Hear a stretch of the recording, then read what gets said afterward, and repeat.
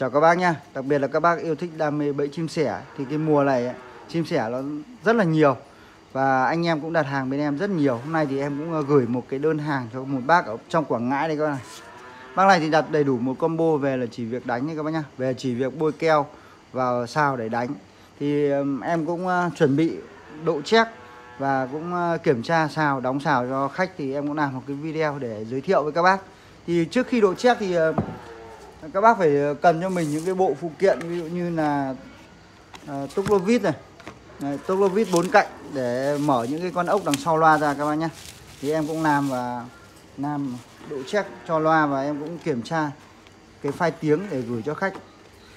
Thì cái dòng loa độ hôm nay là em ờ, độ con loa 898 nhá. Cái dòng này chuyên để đánh chim sẻ này. Và cái dòng này thì rất là phổ thông và được các bác đánh chim sẻ dùng nhiều nhất các bác nhá thì ờ, để độ được cái ờ, loa này thì trước tiên là anh em phải tháo cho mình ờ, bốn con ốc ở đằng sau ra. Thì để mà mở được con ốc này thì các bác dùng lục lăng bốn cạnh các bác nhá. Các bác mở mở những con ốc này ra cho em này thì khi mà độ loa, để độ được cái loa check này ra thì các bác rút cái loa ở trong trong ra các bác nhé rút cái loa ở trong ra và các bác cắm phích vào là được thôi. Rồi sau khi độ thì em cũng thử cái file tiếng từ cái file tiếng để cho các bác nghe xem là khi không độ check và khi có độ check thì chất lượng âm thanh là như thế nào các bác nhé.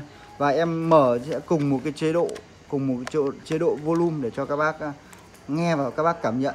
Thì khi mà đánh ờ, loa đánh chim sẻ ấy, nếu mà các bác ờ, chơi không chuyên ấy, thì các bác có thể là dùng loa không cần độ check để đánh đánh giải trí gọi là đánh trải nghiệm thôi. Còn mà khi mà các bác đã làm kinh tế rồi ấy, thì các bác lên sử dụng loa check nha khi mà mở ra thì nó sẽ có một cái rắc. Đấy, một cái rắc để cắm loa này một cái rắc để cắm dây nguồn. Thì các bác uh, lay nhẹ lay nhẹ cái rắc cắm loa ra. Đấy, thế là xong các bác nhá. Thì uh, đây đây là cái file tiếng ờ, chim sẻ. Đấy, bác này đặt để về đánh sẻ thì em đã cóp sẵn một cái file tiếng ra rồi. Thì khi bây giờ thì em sẽ mở mở cái file này ra ở cái chế độ là loa ở cái chế độ loa là chưa độ các bác nhá. đây em sẽ cắm cái loa này trở lại. Đấy, các bác bật nguồn lên. Đấy, các bác bấm nhá. Bây giờ là em để cùng một chế độ volume.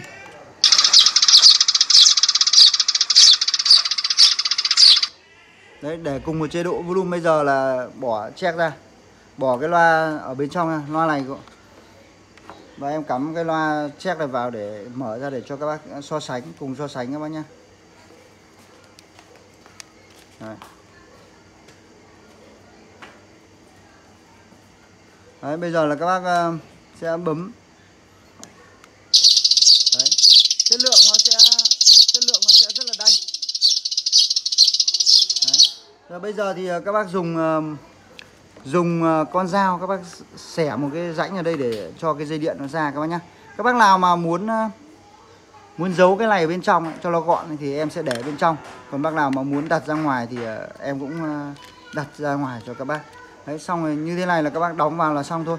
Thì bây giờ em sẽ đi kiếm đi kiếm con dao để mở nó ra các bác nhá. Đây, em đã mở được cái rãnh, dùng dao là mở được một cái rãnh này để cho cái dây điện nó ra bên ngoài các bác nhá. Cho các bác bên ngoài và bây giờ thì ờ, các bác ờ, tiến hành ờ, lắp lắp vào thôi. Đơn quá trình độ nó cũng rất là đơn giản thôi các bác nhé. Đấy, các bác để đúng chiều pin và các bác lắp vào thôi. Đấy. Các bác cho cái dây điện này nó vào đúng cái khe này. Đấy, bây giờ là kiểm tra một lần nữa để xem là có, xem độ chắc nó có ảnh hưởng gì không. Đấy. tiếng kêu rất là đanh các bác nhé bây giờ thì các bác uh, sử dụng túc lô vít và các bác bắt lại ốc. Đấy, thế là xong.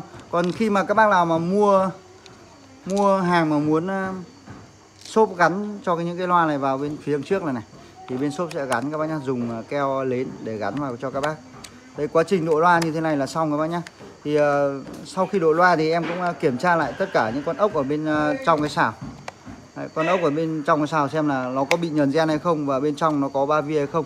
Để khi mà gửi tới tay khách hàng thì các bác có thể là à, kiểm tra và nó ưng ý nhất nhé nếu mà bác nào mà nếu mà các bác nào mà muốn à, em à, gắn keo 502 hoặc là keo lớn vào đây thì em, em sẽ gắn nha các bác nhé còn đây là những cái bộ xào đánh keo này các bác này còn đây,